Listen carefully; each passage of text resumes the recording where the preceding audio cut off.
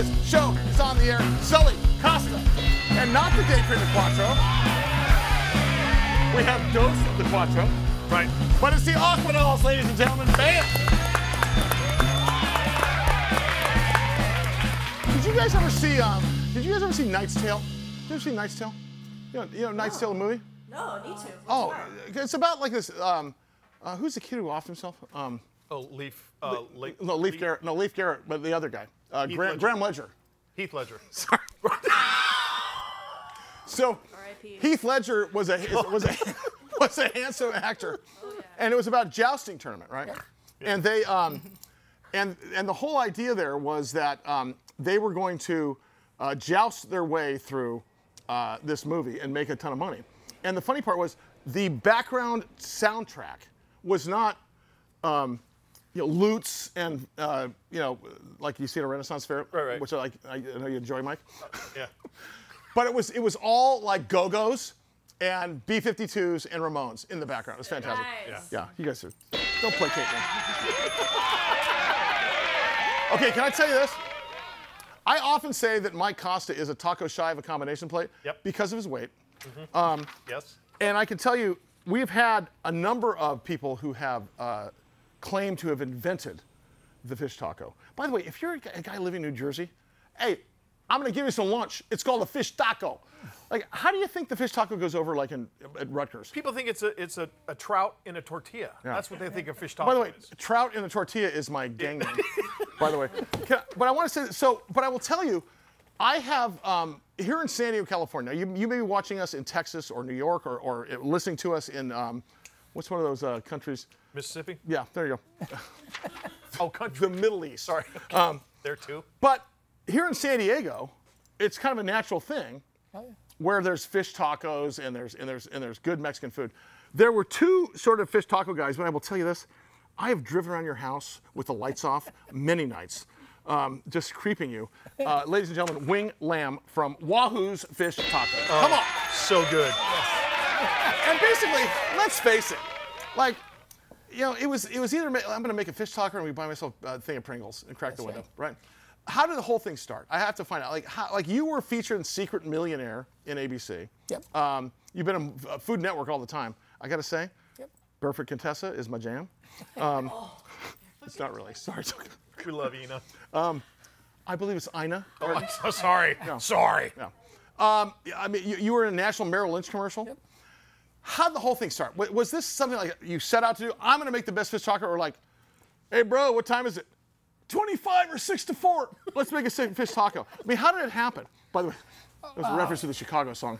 You know, we, we, we do have a pretty, you know, former heavy guy here I can tell you, Paul over there, you know, can tell you the real story. There's only two ways to get into the action sports space Okay. back in the day. Mm-hmm. You had to have been a former aspiring pro or a pro or best friends with one. yeah, or smoke your way into it. I understand. That was good. Otherwise, good luck trying to get in. Everybody says it's the coolest job on the planet, but you got to be cool to be in the coolest guys club. Yeah. So, did Action Sports and Don Durbin of Planet X and all those oh, guys, Oh, all those like, guys. like, like, play a role in this?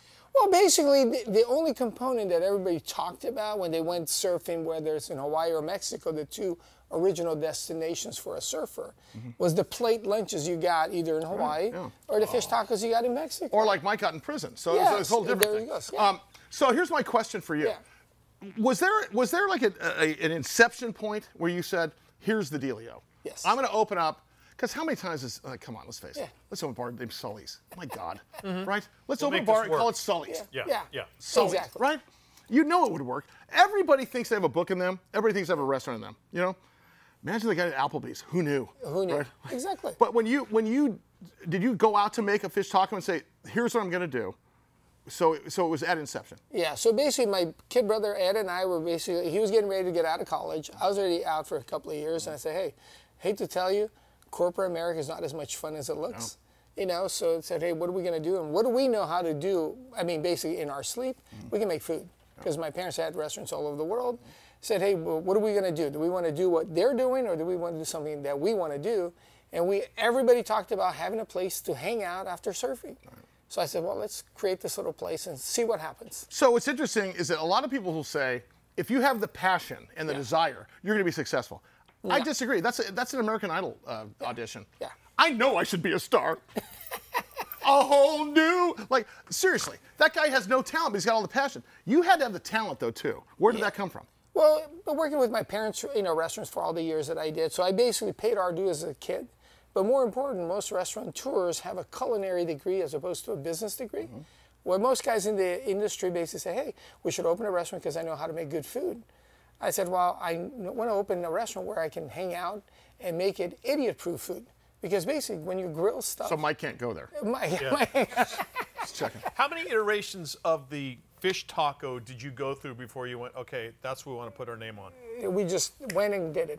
Really? So my question for you is, when you start off with a menu, I've always wondered this about restaurateurs, um, because there's, I always appreciate the places that are, um, uh, they're focused on their menu. For example, like your menu, right? Sure. But then there's also guys like you know A Burger that has a pastrami sandwich, a grilled cheese sandwich, and a uh, and a and a halibut, uh, just raw halibut. Yeah, yeah. Like what, what? How do you know when to cut off? Look, we're just gonna do one thing right. Maybe we'll throw in a quesadilla. yeah. Maybe some churros for the fat guy named Mike. But uh, but what like how was that was that a meeting on that? Did you say look we need like these three things or was it does it develop over time? No, literally what we started out with, uh, we've only added, we've, you know, to it, but we basically, what do we like? Yeah. We like chicken, we like pork, we like steak, we like fish. Let's start with that. And if you could have got the liquor license, you would have tequila from the very first Yeah, day. Let's that's face right, it. Um, I, I, I, I find it interesting that success, okay, and you talk to successful people, Yeah. and um, and oftentimes success comes with a number, Yep. wealth. But isn't it interesting that on Tuesday you're a broke ass, Yeah. Wednesday you're the same guy, and there was a number there. Isn't that interesting how business goes that way? Uh, When you talk about small businesses, like truly, I mean, I I think people strive for success, but at someday you realize, like, sweet mother of ass, we made it. But you're not really a different person. Did did your success change you at all? No, I'm still the same guy. That's what a lot of people really, you know, in the industry anyway, they crack up because there'll be a snowboard contest, and there I am in the middle of the mountains somewhere in the country. Still driving a 4Runner. It's still driving right? Wing, you're, Could could have had a Tesla years ago. you're the, I think you're a walking, talking epitome of not only paying it forward, but also giving back. Yep. Uh, the T-shirt you're wearing, California Love Drop. Yeah. What's that all about? Well, when the pandemic hit, literally overnight from Wednesday to Friday, we lost 85% of our business. So a store that had 20 employees by Friday had three. So basically, we said we got to figure it out because nobody's coming to us. Let's go back to finding them. Literally, it was almost turning the clock back 35 years. How tough was that, though? You know, it, would- uh, uh, listen, I I love to beat up uh, politicians during COVID, but Yeah. truthfully, you didn't know what you didn't know, Yeah. right? Yeah. That time when you got to open for one day Yep. and restock your store, and I would argue that the number one line item cost is either uh, uh, human capital or food Yep. in a restaurant, right? Yep. And you had to stock everything up. As and I would say, when you reopen a restaurant, it's like starting a new restaurant every time, other than the furniture, fixtures, and everything else like how do you like navigate through that stuff or do you just ignore the bloviating guys up on top and say we're going to do what's best for us We got to survive. So whatever anybody's telling you what not to do, I said, well, let's figure out what we can do. Because San Diego and LA were probably the toughest. Orange County was kind of this, I call it Florida-like state of mind, where everybody said, what are you talking about? There's orange no county's the liberace of california yes, you know? yes, there you go. he's kind of popular but he's like a little weird and has a pinky ring Yes. um, did you find any resistance as you went east Absolutely. No Everywhere kidding. we went, i've always wanted to ask that people always say fish taco what is that Yeah. they couldn't get it past because they kept thinking a, a trout or a fish stick inside of it the, the whole concept was just very very foreign to them and then once you started breaking down goes you ever had chicken on top of your salad Yeah. like yeah have you ever had fish or steak oh yeah goes now just put a tortilla at the bottom of it do you know what Mike has? Mike has a, a taco inside a burrito inside of a, a bell beefer. It's called a, it's called a chalupa, and it's his favorite food. Wrapped in a pizza. Um, can, can I, I, I, I, one last thing that I want to ask you.